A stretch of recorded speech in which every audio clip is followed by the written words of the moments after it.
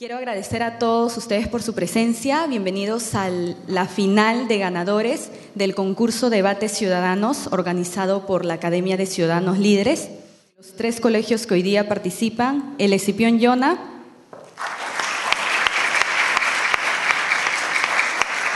la reparación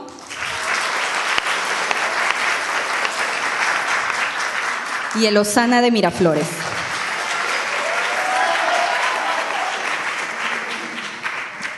Quiero empezar presentando al distinguido jurado que hoy nos acompaña en esta gran final. Empezaré por la señora Franca Rey Camino. Franca Rey Camino se desempeñó como asistente administrativa en diferentes empresas de los sectores farmacéutico, minero y naviero. Actualmente es regidora de la Municipalidad de Miraflores y preside la Comisión de Cultura, Educación y Deporte y es miembro de las comisiones de Asuntos Jurídicos y de Bienestar Social y Participación Juvenil. Recibamos con un fuerte aplauso a la señora Franca Rey.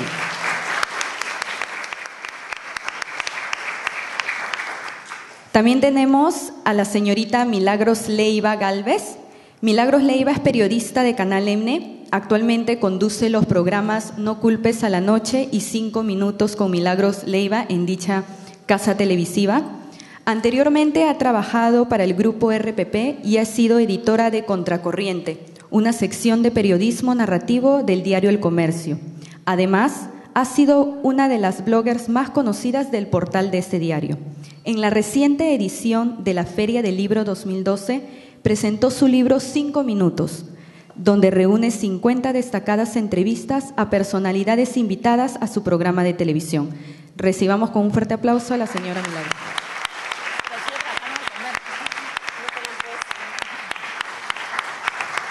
También nos acompaña el joven Javier Aguilar Santur. Javier Aguilar es estudiante de la carrera de Historia de la Facultad de Letras y Ciencias Humanas en la Pontificia Universidad Católica del Perú. Ha sido miembro de la Sociedad de Debate de, la, de dicha institución desde el año 2010. Ha participado en torneos de debate de talla internacional y el Campeonato Mundial de Debate en Español realizado en agosto de este año. Un aplauso, por favor, para el joven. Tengan ustedes buenas, buenos días. Reciban el saludo de parte de nuestro alcalde, el doctor Jorge Muñoz Wells, quien no nos puede acompañar el día de hoy, pero que les envía el, el saludo respectivo. Yo quería en esta oportunidad Felicitar a los tres grupos que el día de hoy están representando a sus respectivos colegios, ya mencionados por haber sido los ganadores de los anteriores, eh, los, los anteriores debates que se han realizado aquí en Miraflores. Quería también felicitar al equipo técnico de la Academia de Ciudadanos Líderes por esta organización. También hago extensivo el saludo y la felicitación a todos los padres de familia, docentes, que el día de hoy eh, nos acompañan y que incentivan a que sus hijos sigan en este desarrollo personal y de liderazgo. Y también, y por último, agradecer a todos los que están acompañándonos, los alumnos de los, de los diversos colegios, por seguir eh, en los pasos de un líder y por eh, seguir contribuyendo a que Miraflores sea una ciudad mejor. Gracias. Eh, empecemos de una vez con lo mejor, lo que va a hacer que retumbe la sala seguramente, que es la presentación de los equipos. Recibamos con un muy, muy, muy fuerte aplauso al equipo del Colegio Escipión Yona, conformado por Ángelo Arias, Jason Medrano y Yamir Yataco.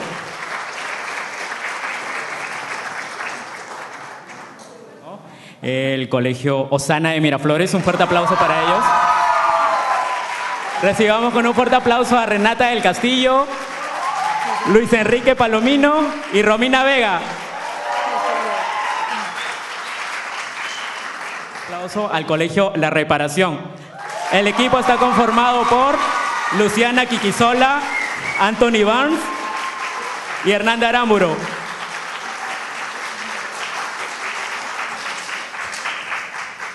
Con respecto al primer tema, ya que Borkian decía alguna vez que morir no es un crimen. Eh, la eutanasia ha sido un tema en debate durante muchos años. Se les conoce a algunos como muerte asistida o simplemente como eutanasia. Eh, Eugene O'Neill decía que el, deber del hombre ante la vida es seguir adelante. Tenemos dos, contra, dos posiciones contrapuestas y veremos cuál es la posición que defiende cada colegio.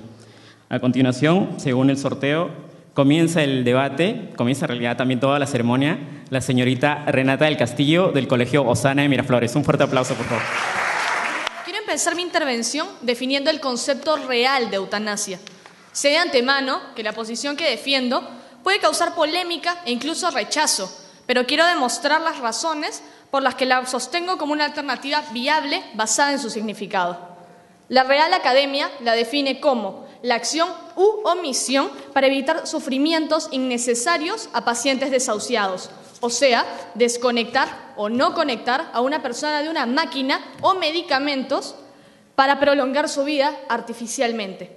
En este concepto estricto se entiende la eutanasia como un acto de compasión ante el prójimo, una forma de aceptar con resignación y esperanzas que el ciclo de la vida debe concluir según los designios divinos y refrendados terrenalmente por un diagnóstico médico que más allá de las capacidades de un profesional indica que existen daños irremediables.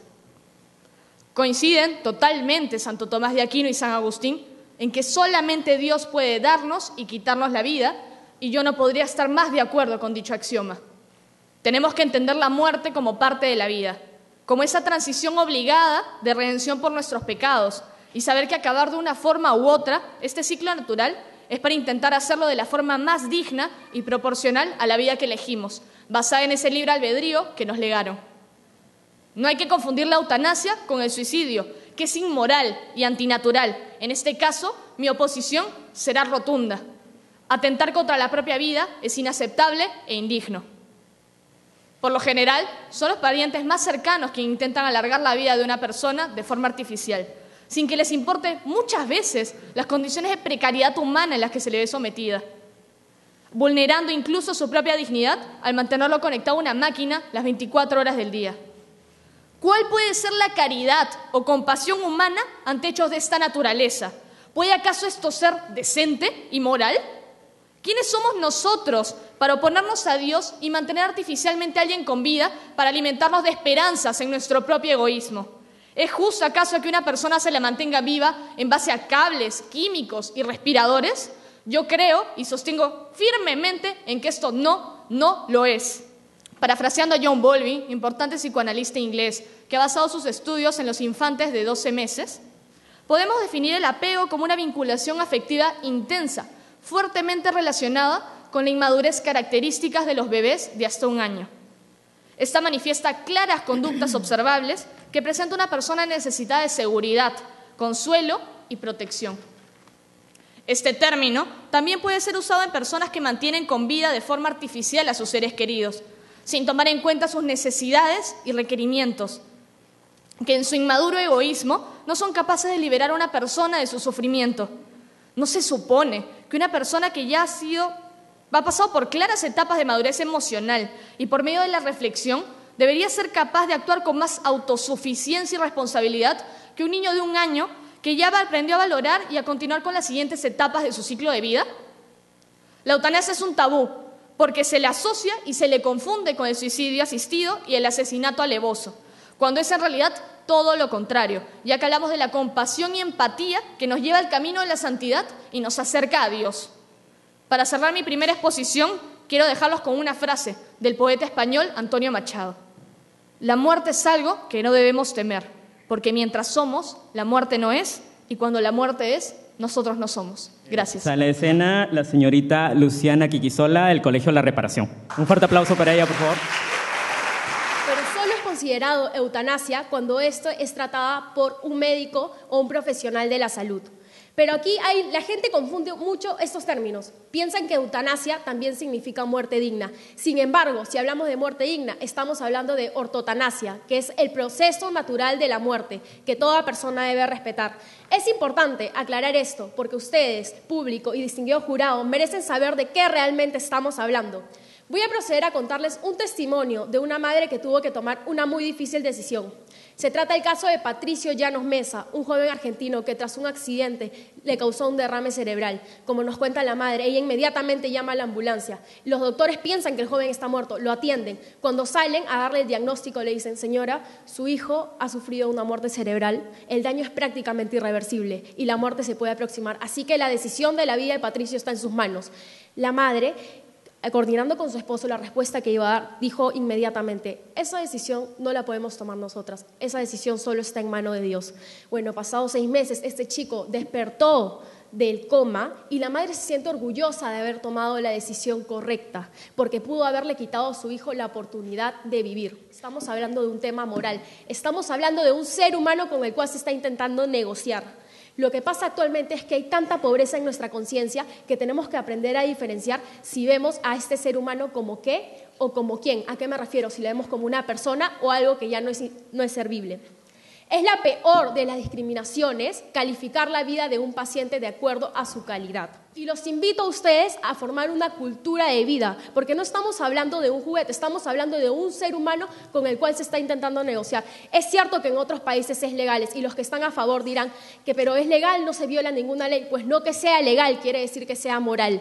Así que yo propongo continuar con esto y los invito a formar una cultura de vida. Los dejo con el pensamiento de Juan Pablo II, que quien desde su existencia, el ser humano, debe haber reconocido sus derechos y dentro del cual está el derecho irrenunciable e inviolable, que es la vida. Muchas gracias. El joven Jason Medrano del Colegio Scipio Un fuerte aplauso para él, por favor. La vida es un derecho inalienable y a optar por la eutanasia estoy entregando mi libertad y a su vez, al mismo tiempo, estoy acabando con ella. La eutanasia no es una práctica que viene desde tiempos eh, actuales, se basa en toda la historia de la medicina moderna. Solo el hecho de que el ser humano esté gravemente enfermo o ligado a su mala dependencia de la calidad de vida ha hecho que las sociedades pongan en cuestión esta, toma de la decisión acerca de la eutanasia, la nueva necesidad de una práctica que no debería ser aplicada.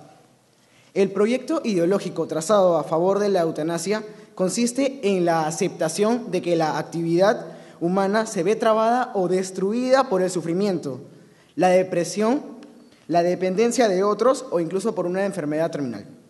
Sin embargo, este es un tema que va más allá de las necesidades físicas y psicológicas de un ser humano. Por lo tanto, ¿queda algún margen para los enfermos, ancianos o incapacitados que sigan manteniendo aquella plena confianza en aquellos que tienen casi por deber incluso sagrado, mantener la plena confianza en sus médicos. ¿Quién impondrá a la víctima potencial el deber de confiar en el que posiblemente puede ser su verdugo? ¿Y cómo confiar en que el médico va a esforzarse por mi vida si mis parientes pueden impulsar en el sentido contrario? La eutanasia limita las capacidades de superación del ser humano.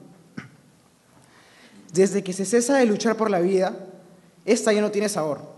Con esta oración quiero darles a entender de que el ser humano encuentra en la eutanasia una limitación a sus propias capacidades de superación ante la adversidad, pues nuestra especie encuentra en las dificultades aquella necesidad por sobresalir ante los retos que se le imponen en el camino en el desarrollo de su vida. Se plantea que las decisiones de la familia van alrededor acerca de que la persona está sufriendo o de que la imposibilidad de superar una enfermedad. En verdad la familia tiene la auténtica autonomía y libertad para decidir sobre la vida de un ser humano, más allá de un vínculo sanguíneo o matrimonial. La incapacidad de la persona para decidir no es un motivo sólido, ni válido, ni viable para recurrir a este medio.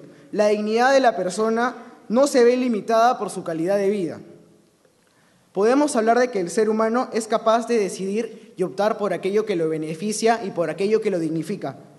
Por lo tanto, ¿acaso la dignidad del sujeto solo se ve determinada por las circunstancias que mediatizan su calidad de vida?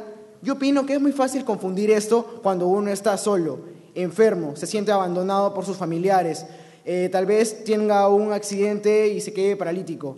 Poniendo ejemplos de esto, es muy fácil sufrir depresión, sentirse abandonado, sentirse deprimido.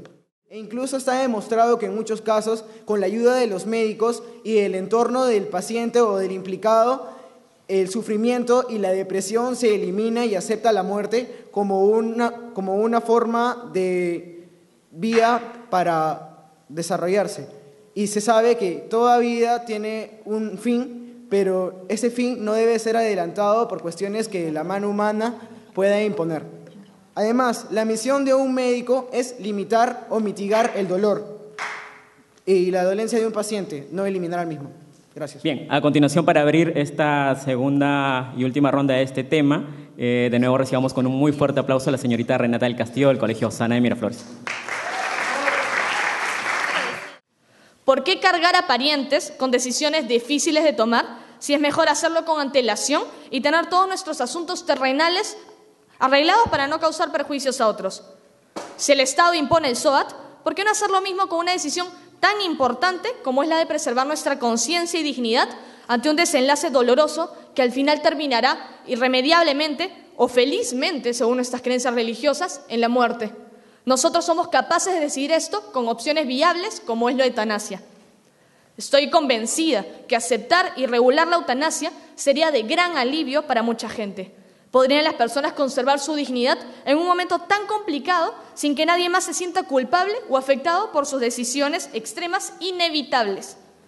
Quiero terminar esta exposición con un mensaje final que ha nacido a través de esta pequeña investigación. Cuando Jesús regresa de la muerte, después de tres días de su crucifixión, viene con un mensaje claro que llega con verdad plena y comprensible a sus discípulos. Antes de su muerte, en los tres años que caminaron juntos, ninguno de ellos pudo comprenderlo a cabalidad. Solo fue gracias a ese paso de humano a divinidad total que su mensaje se comprendió, se extendió y cambió el mundo. No tengamos temor a la muerte. Es un paso obligado y necesario para trascender y alcanzar la felicidad plena. Negarnos a ella es negar la propia vida. Tengamos en cuenta que Jesús nos quiere con fe y esperanza. Sócrates dijo, temer a la muerte, amigos, es confiar en una falsa sabiduría y aparentar saber lo que se desconoce. Nadie conoce la muerte, ni se considera para el hombre el mayor de todos los bienes, pues todos le temen al comprender que es el mayor de todos los males. ¿Y no se cae acaso en la mayor ignorancia cuando se piensa saber lo que se desconoce? Gracias. Aceptar la eutanasia nos pondría al borde de decir esto. Están enfermos, hay que matarlos. Están viejos, hay que matarlos están retrasados o discapacitados, hay que matarlos. E incluso podríamos llegar a la absurda decisión de decir esto. Son de una raza inferior, hay que matarlos. O incluso son feos, hay que matarlos. Eso es absurdo. Bueno, se sabe que hasta fines del siglo XIX en América del Sur existía una persona llamada despenador o despenadora, que se encargaba de hacer morir a aquellos moribundos o aquellos que no daban provecho a la sociedad por decisión de sus parientes. Entonces, e incluso también a las personas que estaban muy delicadas de salud. Entonces, nos exponemos a una nueva era de despenadores que se disfrazan bajo la máscara de ya y se han visto obligados a dejar en segundo plano el matar por el sufrimiento de la persona, para tomar una nueva dirección, la de preservar la dignidad de morir como un derecho que se expresa en un dominio absoluto de uno sobre su propia vida. En este nuevo contexto, ya no es la enfermedad avanzada manifestada a través del dolor y el sufrimiento, sino es, ahora es la pérdida de autosuficiencia, el no poder vivir de otros. Creo que eso también es incorrecto y según mis bases religiosas pienso que esto es también una inviolabilidad a los derechos humanos. Gracias muchos sustentos para realizar la eutanasia. Uno es el sufrimiento, pues existe en la actualidad con tanta modernidad la medicina paliativa. ¿Y qué es la medicina paliativa? Es la rama en la que los doctores se encargan específicamente de estos pacientes para aliviar sus dolores, para que puedan morir en su proceso natural con una muy buena calidad de vida. Otro sustento es la escasez económica. Veamos la inconsciencia del ser humano. Por ejemplo, en los Países Bajos se ha legalizado la eutanasia porque el Estado no cuenta con medios económicos. Pero eso acá en el Perú no puede ser excusa. ¿Por qué? Porque el artículo 7 y 9 de nuestra Constitución dice que va a darle y brindarle protección al discapacitado que no cuente con la- los medios económicos.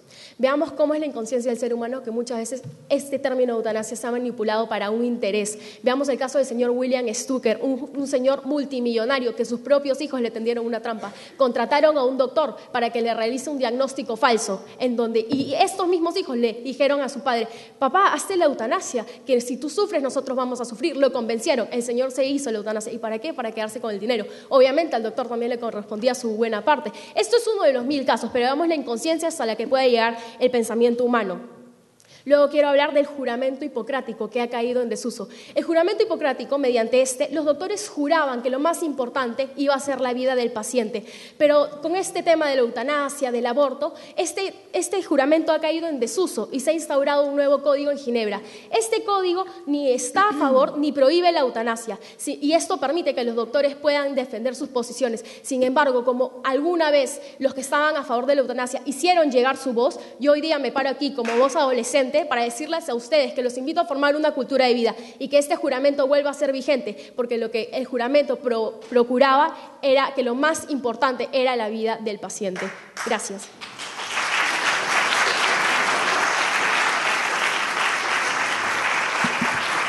El segundo tema de debate. Voltaire decía que defendería hasta con la vida la libertad de las personas a expresar, incluso cuando no estaban de acuerdo con lo que él profesaba. Pero ¿qué sucede cuando esto eh, se superpone a un derecho bastante cercano a nosotros, que es el derecho a la privacidad? El segundo tema es libertad de expresión versus derecho a la privacidad. Para iniciar esta nueva ronda de debate, comienza el señor Yamir Yataco, del Colegio Scipio Oñona, a quien recibimos con un fuerte aplauso, por favor. Pongámonos a pensar, ¿qué pasaría si en la actualidad se formara un grupo con las ideas del Partido Socialista Alemán? Así es, el régimen nazi. ¿Iríamos en contra de su derecho a la privacidad y lo denunciaríamos? ¿O aceptaríamos su derecho a la libre expresión y dejaríamos que sigan como si no hubiera pasado nada? La verdad es esa, señores, es la que yo planteo. Tanto la libertad de expresión como el derecho a la privacidad, en cuanto sean regulados, son necesarias para la vida del hombre en sociedad.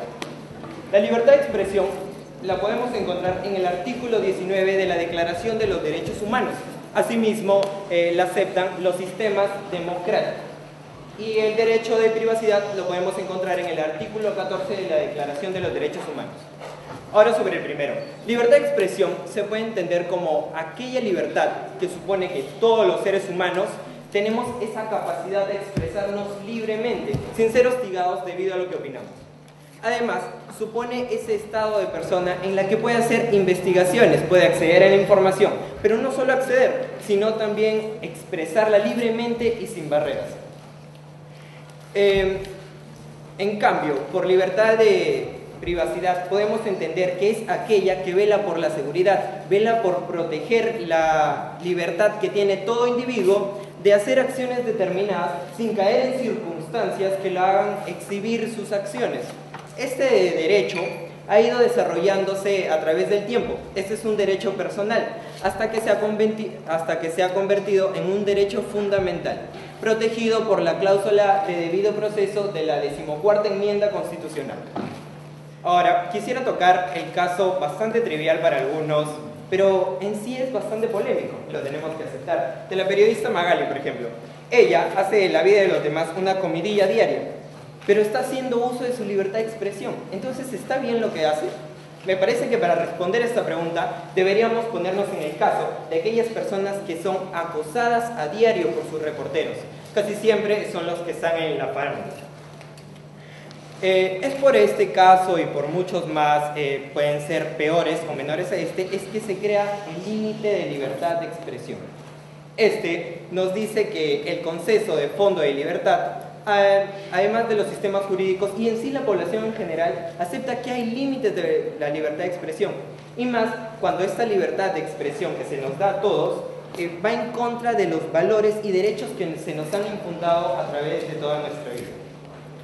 Estas limitaciones pueden ser por principio de derecho o por principio de daño. Estos principios se forman y pueden ser eh, por eh, sanción legal o desaprobación social. Señores, es momento de darnos cuenta que la libertad de expresión, tanto como el derecho a la privacidad, son necesarios para que el hombre pueda vivir en sociedad, ya que se le dio la capacidad de expresarse libremente, pero también tiene esa necesidad de tener una vida privada y, y no contarle a todo el mundo lo que hace. Gracias. A continuación, para seguir en el tema de debate, continúa el señor Anthony Barnes del Colegio de la Reparación. Un fuerte aplauso para él. Una sociedad que está callada. ¿A dónde puede llegar? Solo cae un abismo, un abismo profundo y oscuro, que, tal como el árbol que cae en el bosque, aún así nunca sigue escuchada. Quisiera remontarme en el tiempo, a un país, nuestro, país, nuestro país vecino, Chile, la época de Pinochet, dictadura que duró 17 años y que terminó en 1990. Una época muy terrible, donde si podías, si querías ir a la calle a expresar tus ideas, que supuestamente van en contra de los demás, te podían meter preso, inclusive hasta matar, sin ni siquiera descubrir la verdad si lo que tú decías era algo correcto o incorrecto. Quiero resaltar también algo que estaba escuchando, que era la libertad.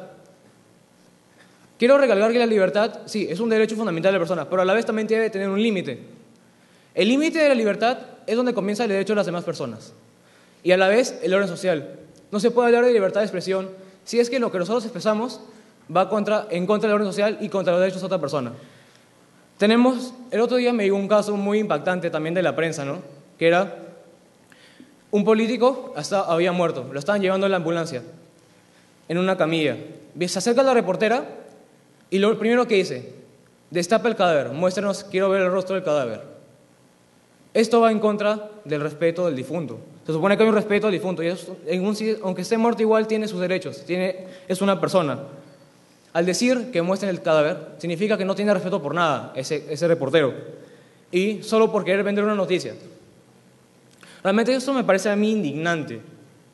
A la vez también, por ejemplo, el caso- los casos de Magali Medina, un caso muy popular que se tuvo fue el de las prostivedets, en la que esta reportera de la televisión metió cámaras escondidas en las casas de estas meretrices. ¿Para qué? Para mandar al público, esto, revelar al público estos videos y a la vez las fotos. Y es que lamentablemente estamos viendo un abuso de libertad de prensa también, que es parte de la libertad de expresión, en el que la prensa, solo por querer vender su producto, digamos, a la sociedad, no se preocupa de los derechos de los demás. Actualmente hay un proyecto de ley que busca prohibir justamente estas cosas, los suponeos, las cámaras y las intervenciones dentro de los hogares de las personas. Lamentablemente, aún así, seguimos viviendo en una sociedad que no puede vivir bien la libertad de expresión.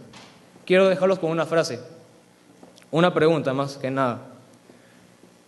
¿Les gustaría vivir, les gustaría que un día de la nada no puedan expresar sus ideas libremente? Que de repente vengan a su casa, metan una cámara y toda su vida privada la revelen a la sociedad. ¿Eso es un progreso para el país o es una decaída? Gracias. La señorita Romina Vega del Colegio Sana Miraflores. Un fuerte aplauso para recibirla, por favor. Sin la habilidad de opinar libremente, de denunciar injusticias y de clamar y exigir cambios, el hombre está condenado a la opresión, a la opresión política, a la opresión social, a la opresión religiosa. Dicho esto, quiero refutar a mi compañero de la reparación que dijo que el libertinaje ser- eran las huelgas, las protestas. Para mí esto no es libertinaje. Sin- Esto es eh, que las personas buscan expresar sus ideas, quieren cambios, los necesitan y están en todo su derecho de reclamar y de exigir estos. Continuando, la libertad de expresión se constituye también como uno de los pilares de los gobiernos democráticos. ¿Por qué? Porque permite que nuestra ciudadanía esté correctamente informada de lo que sucede a su alrededor. Promueve la tolerancia entre los miembros de una sociedad, porque estos deben aceptarse los unos a los otros a pesar de tener distintas maneras de pensar, diferentes formas de ver el mundo, diferentes religiones, etc. Sin embargo, hoy en día la libertad de expresión nos regala el poder decirle a las personas lo que no quieren oír.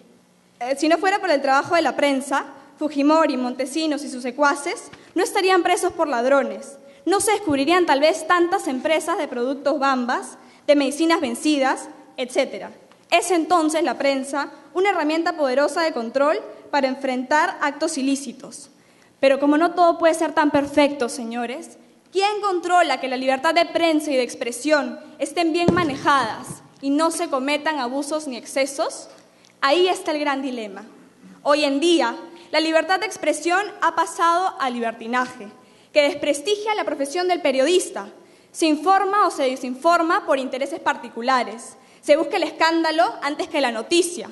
Se maneja la información explotando el morbo de la gente por la sangre, el sexo, los disturbios que podrían aparecer.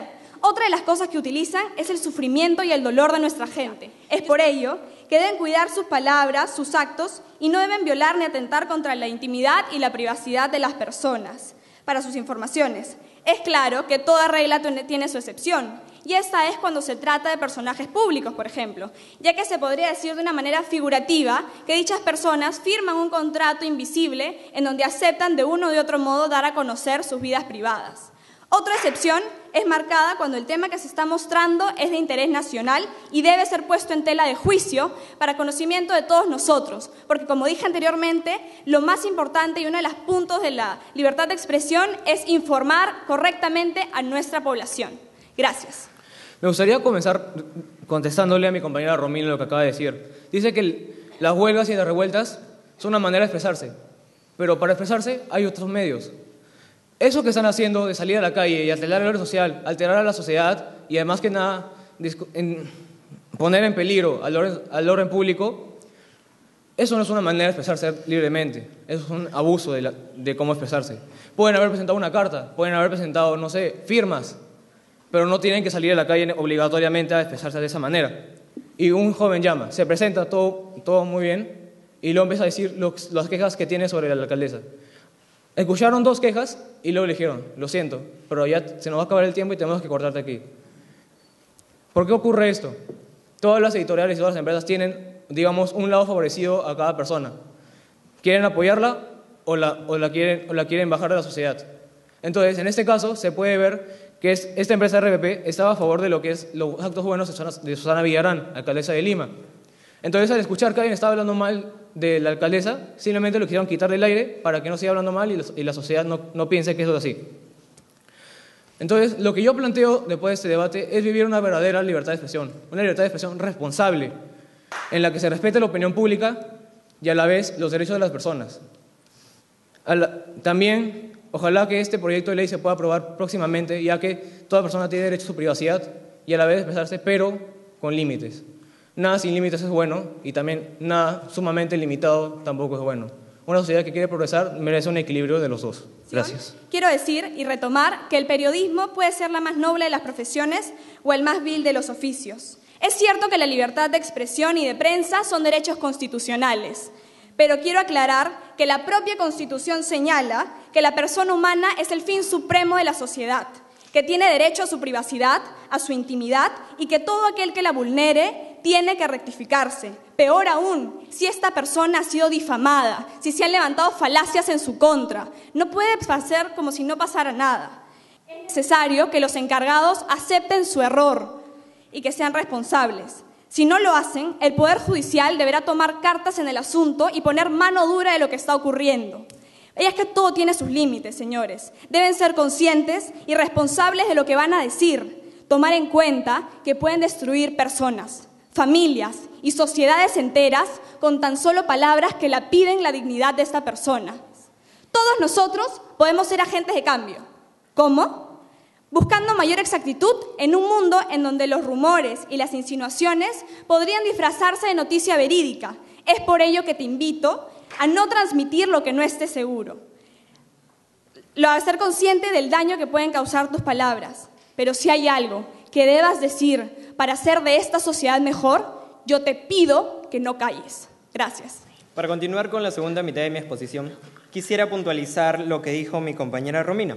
Si yo toqué el ejemplo como una suposición de que si se formara un grupo con las ideas del Partido Socialista Alemán, fuera para decir que no podemos ponernos en un punto, no, no, ponemos, no podemos ponernos eh, solamente apoyando la libertad de expresión y solamente apoyando al derecho de la privacidad, sino que nos, el ser humano como parte de la sociedad necesita de ambos. Ahora, quisiera hablar sobre lo que dijiste rebatiendo a mi otro compañero, que las huelgas es un medio de cambio. Me parece que las huelgas y cuando se levanta la sociedad es una forma de que se, que se concluya el conflicto social. ¿Eso es lo que queremos para nuestro desarrollo? Me parece que no. Ahora sobre mi compañero Anthony, que dijo que nunca ha sido escuchada. Entonces, ¿qué es lo que hacemos nosotros parados aquí? Me parece que el estar exponiendo nuestras ideas y poniendo a, a ustedes nuestras opiniones es una forma de libre expresión. ¿La libertad de expresión es un referente para que se cree la democracia? Pues sí, en donde eh, es muy importante la libertad de expresión, pues en un país democrático la libertad de expresión juega un rol bastante importante. ¿Por qué? Porque haciéndonos escuchar eh, hacemos que nuestro país avance en conjunto, incluso tal vez podamos llegar a la tan anhelada inclusión social. Quisiera tocar otro caso que es el tema de Cuba.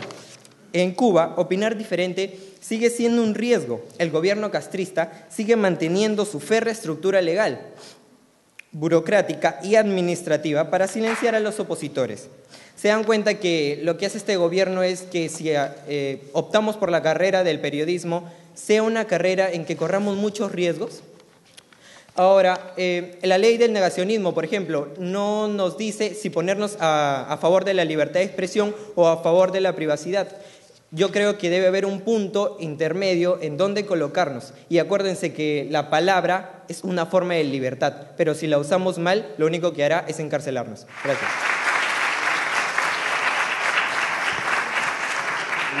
El conflicto social ha repercutido en el país, quizás algunos con mayor presencia mediática que otros. Pero es un tema también analizar sobre cuáles son las políticas efectivas que puede, eh, que puede hacer el gobierno para solucionarlas, o si es que estas no la han hecho para iniciar este nuevo tema de debate? En el último reporte dado por la Defensoría del Pueblo, en julio del 2012, del presente año, nos informa que en el Perú hay 168 conflictos activos, 75 latentes que están a punto de estallar, 81 que están en el proceso de, diálogo pero, ¿de qué conflictos estamos hablando? Pues bien, hablando en su mayoría y estadísticamente el tema socioambiental, con un 60.9%. Le sigue el tema de asuntos de gobierno nacional, asuntos de gobierno local, laborales, ah, de demarcación territorial, entre otros. ¿Y qué tanto nos afecta a todos nosotros estos conflictos sociales? Todo conflicto lleva a que todo el país no se desarrolle adecuadamente.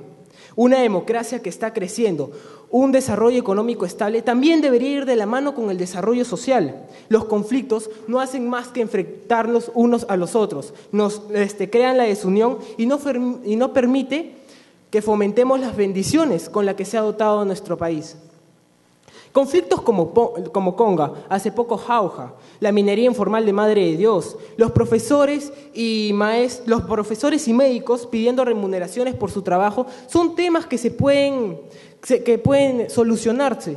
Yo, que vengo de un colegio nacional, me veo afectado directamente, ya que la crisis recae en terceros y estos terceros vendríamos a ser los alumnos que no podemos estudiar, perdemos clases y nos atrasamos. Y para mí es inaceptable ver en la portada de un periódico que el proceso de diálogo simplemente nos divide. Todas estas formas de prevenir los conflictos parten de la institucionalización del diálogo como mecanismo de paz. Así que quiero culminar mencionando una frase de Mahatma Gandhi. No hay camino para la paz. La paz es el camino. Muchas gracias. Por el Colegio La Reparación, el joven Hernán de Arauburo. Recibamos un fuerte aplauso a Hernán, por favor. Actualmente, el país afronta 168 conflictos sociales, sumados más 75 latentes, da un total de 243 problemáticas en el país. ¿No creen que es un número muy elevado? ¿Y el Estado qué hace con esto? ¿El gobierno en qué se preocupa? ¿Acaso da soluciones? ¿Da algo? No, nos está dejando a la deriva actualmente. Eh, con esto, con esta irresponsabilidad que está mostrando, lo único que está causando es gastos, pérdidas económicas en general. Veamos, por ejemplo, el proyecto Conga. Hasta la actualidad se ha producido una pérdida de 600 millones. Eso sin contar la, la pérdida de seis vidas humanas vidas humanas, ya no es algo material. Veamos también el caso de Jauja. ¿Qué se le ocurrió al presidente regional? En vez de gastar, invertir 200 millones de soles en remodelar un aeropuerto que ya está construido en la región misma de Jauja, para volverlo internacional, desarrollar el progreso, impulsar la economía de nuestro país, ¿qué decidió hacer? No, construir un nuevo aeropuerto en la ah, capital de Junín. Esto demanda una inversión de cuatro veces más ah, de lo anterior. Con este dinero que hemos perdido, ¿qué podríamos haber hecho? Hubiésemos podido solucionar muy, más rápidamente la protesta de salud y, por ende, el SUTEP. ¿Qué, ¿Por qué el salud se está levantando? Porque están trabajando en ambientes no dignos, con material anticuado o estructuras dañadas, las cuales no han sido remodeladas, ni siquiera les han dado mantenimiento. Los maestros están levantándose porque no están recibiendo el dinero que necesitan. La educación es la única manera de poder hacer una revolución sin sangre, no violenta, y que profundice nuestra cultura y valores. Gracias. El joven Luis Enrique Palomino del Colegio Sana de Miraflores, un fuerte aplauso para él, por favor. El hombre no será sabio hasta que resuelva toda clase de conflictos con las armas de la mente y no con las físicas. El Estado es el que dispone de todas las políticas para un Perú mejor. Pero señores, si el Estado no hace nada, tenemos nosotros que hacer el cambio. Nosotros tenemos que evaluar nuestra realidad y oportunidades de crecimiento. Nosotros tenemos que pensar, en el caso de las huelgas, tenemos que pensar si soy un maestro que no recibo mi sueldo. Yo he estudiado para enseñar, es mi vocación enseñar y por eso he decidido estudiar estudiar educación, pero si veo de que no me aumentan el sueldo y con un grupo de maestros decido hacer una huelga, voy a poner en riesgo y voy a dificultar el aprendizaje de los niños del mañana. Hay que pensar siempre en el bien mayor para la sociedad peruana. Y esto a través, y reclamando que no, que no se destruyan los derechos de las personas a través del diálogo, siempre demostrando de que hemos crecido como sociedad y de que a través del diálogo se pueden conseguir las medidas que estamos esperando. Muchas gracias. Es clave, señores, que se mantenga informada la comunidad sobre los proyectos que van a ser implementados, estrategias de desarrollo, transformar esta crisis en una vía de progreso, aún antes que este es... Eh, que éste haya adquirido el nombre de crisis, abrir una mesa de diálogo, sentar a los actores y conversar sobre las características del proyecto. Las comunidades también podrían estar más organizadas si es que quieren ser escuchadas, aprovechar las oportunidades de diálogo para, para acordar los alcances de un proyecto que nos beneficie a todos, estudiando los riesgos y beneficios siempre en pro de la comunidad y respetando las necesidades y las costumbres de la misma. La prensa, por su parte, tiene que informar de manera veraz, metódica, analítica y responsablemente, sobre todo siendo imparcial, pues es el medio por el cual podremos conocer el tema y opinar. Es más barato, es menos trabajoso y más inteligente prevenir antes con la educación, con el diálogo y la información compartida que reaccionar ante la crisis con violencia y creando una inestabilidad social. Lo que se obtiene con violencia, señores, solamente se puede mantener con violencia. Un conflicto de ninguna manera puede significar este, violencia. Y quisiera como, este, culminar con esta frase. Los conflictos sociales han existido siempre. Eh, solamente debemos de tratar de evitarlos. No, los conflictos sociales han existido siempre. No debemos de evitarlos, sino tratar de tenderlos. Muchas gracias. Como ya dije anteriormente, la educación es la única manera de llegar a una revolución sin sangre, no violenta, y que profundice en nuestra cultura y valores. El Estado actualmente realmente no se preocupa por la educación, no se preocupa por el futuro de este país, porque la educación a los jóvenes es el futuro, ya que nosotros somos el futuro del gobierno. Nosotros vamos a decir qué es lo que va a pasar. Nosotros vamos a llevar este país a su progreso o a su quiebra. Yo propongo que para resolver los conflictos sociales se necesita mucho lo que es transparencia de las mismas autoridades. O sea, la cosa no está en que si se cambia el ministro muchas veces o se cambia solo una vez o permanece en su puesto. La cosa es que nuestras autoridades sean competentes, tengan la capacidad de resolver conflictos como la altura de Conga. Eso está estallando y ha causado muertes. No estamos viendo solo lo material, estamos viendo nuestra integridad y nuestra salud. Son vidas humanas. Ya hemos sobrepasado el límite de lo material. Les quiero dejar con esta frase del gran filósofo y pensador chino, Confucio. Llévese al Estado como a una familia, con autoridad, con competencia y siempre con buen ejemplo. Gracias. Eso de que los conflictos, aparte de diálogo, hay muchas maneras de, solu- de solucionar conflictos, como está, como lo dijo mi compañero, la educación. Aparte, aparte de educación, de la educación que es muy importante para la solución, la solución de conflictos, también hay, no hay que ser indiferente ante los conflictos que pasan en nuestro país, informarnos de cómo nuestra sociedad está sufriendo, qué es lo que más necesita, cómo, quiénes necesitan más. Siempre hay que cumplir nuestros deberes como ciudadanos. Y cuando se ven nuestros derechos que, no son, que son vulnerados, hay que reclamarlos, no usando la violencia, siempre con autocontrol en las protestas, no ser indiferente ante cada, ante cada conflicto social. Y aparte de la educación que se da en los colegios, también la educación tiene que empezar en casa, con los valores que nos dan nuestros padres, o puede comenzar en, en nuestra iglesia, que nos pueden dar valores que nos van a servir para ser mejores ciudadanos. El Perú somos todos. Trabajemos juntos para que mejore. Muchas gracias.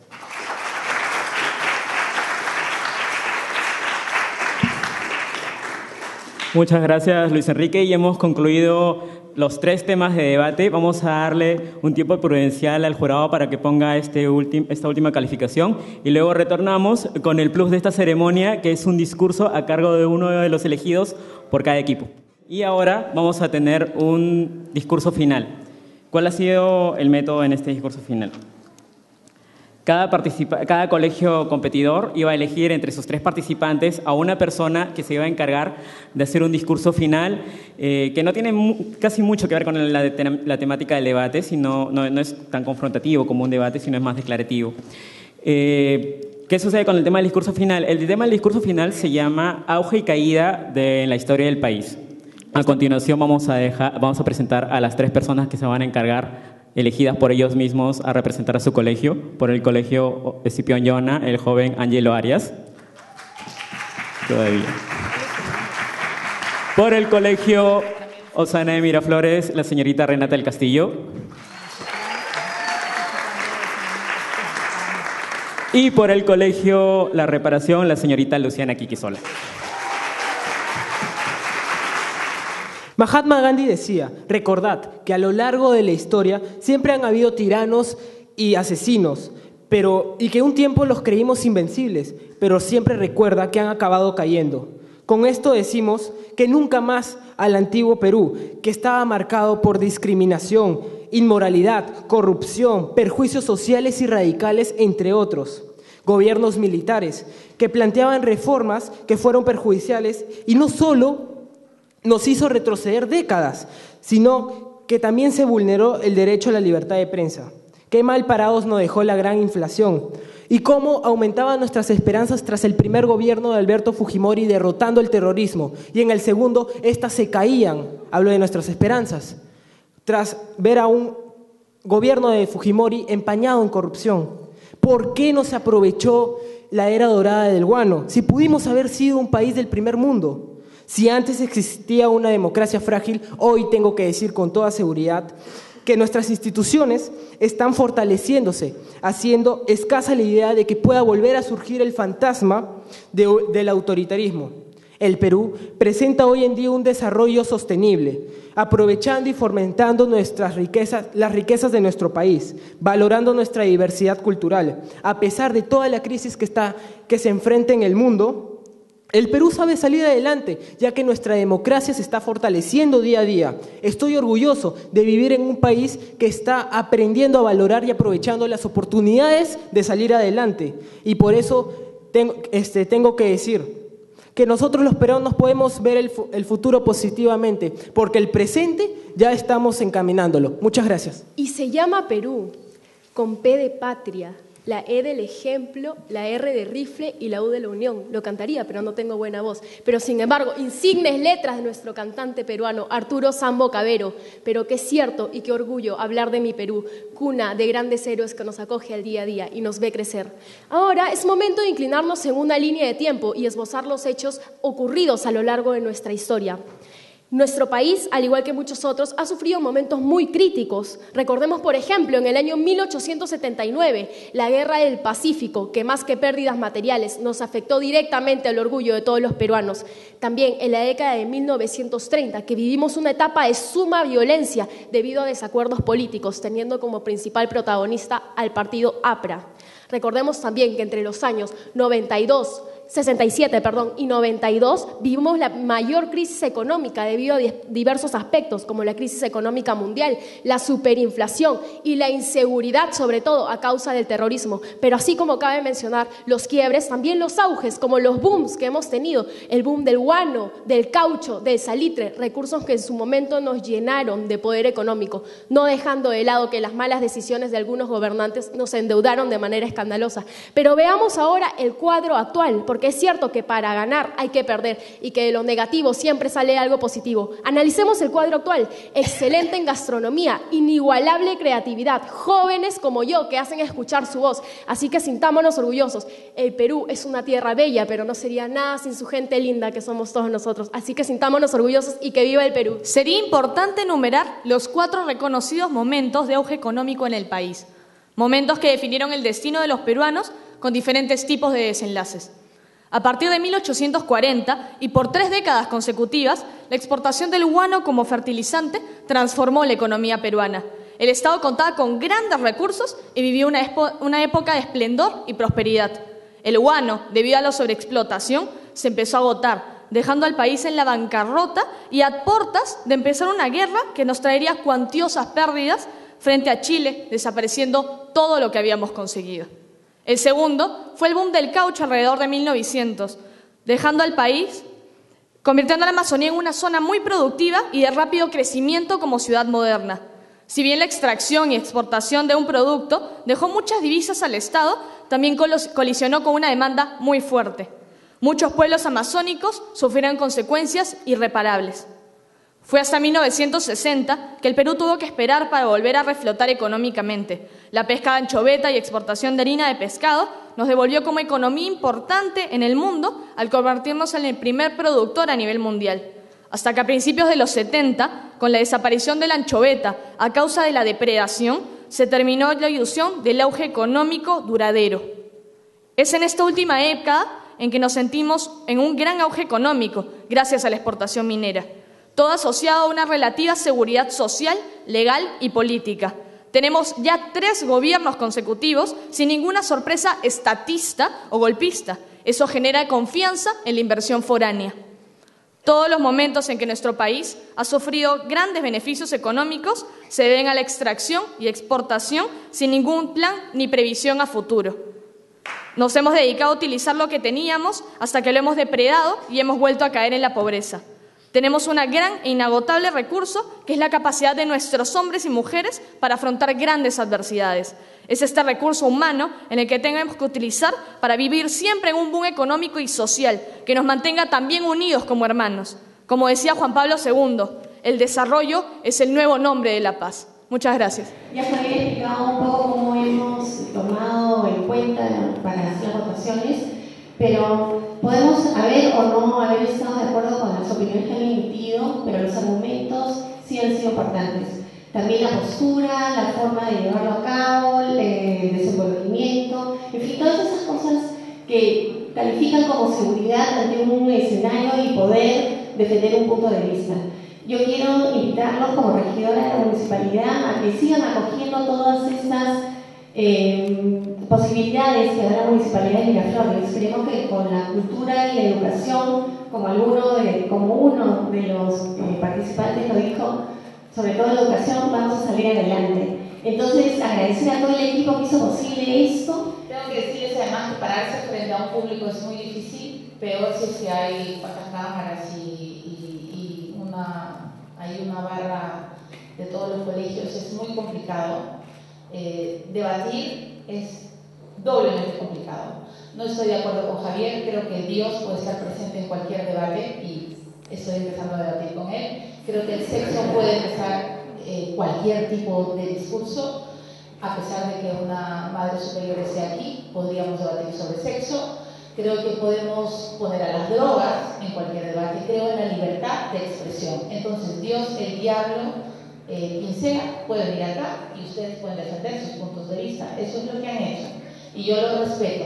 Creo en la libertad de expresión y quiero decirles que cuando quieran me llaman a sus colegios y les doy una charla sobre el derecho de la intimidad porque creo que ninguno lo ha entendido. Eh, y sobre todo porque hay una colisión entre derecho a la libertad de expresión y derecho a la privacidad. Pero bueno, yo no vengo a dar clases, vengo a ser jurado, ha sido muy difícil, hemos estado, no hemos estado, no es unánime el resultado, pero porque hemos, digamos, para de repente para Franco, para mí, uno era el ganador en, un, en, un, en uno de los, de los temas y para Javier era otro, de repente para Javier para mí un equipo era el ganador y para Franca era otro en otro de los temas, así es, no hay ni un solo eh, grupo que haya sido unánime y parejo en todos, me parecen muy buenos oradores, en serio lo digo, tienen mucha versatilidad, creo que deben de tener en cuenta que no solo importa la forma, sino el fondo, eso es muy importante, porque uno puede ser muy empático y puede ser muy sintónico y puede hablar maravilloso, pero puede no estar diciendo nada. Y uno puede ser muy tímido, puede ser muy dubitativo, incluso puede temblar en el micro y nadie le va a entender, a pesar de que sus ideas sean brillantes. El equilibrio de un gran orador está entre la forma y el fondo. Entonces, por eh, un consenso intenso y bastante discutido, el ganador es el Colegio Osana.